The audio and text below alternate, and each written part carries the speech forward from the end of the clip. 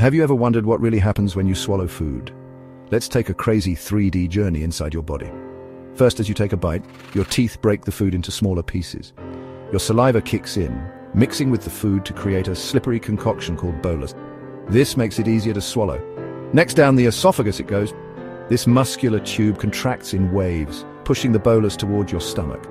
It's a wild ride as your body works to keep things moving smoothly. Once in the stomach, the real magic begins.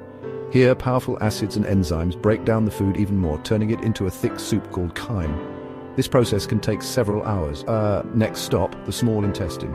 Nutrients are absorbed through its walls and sent into your bloodstream, fueling your entire body. Every bite you take is transformed into energy, Finally, the leftovers move into the large intestine, where water is absorbed and what's left is compacted into waste. Needham. And that's how your body processes food. So, next time you eat, remember the incredible journey your food takes inside you. Thanks for watching. If you enjoyed this video, don't forget to subscribe to our channel for more amazing insights.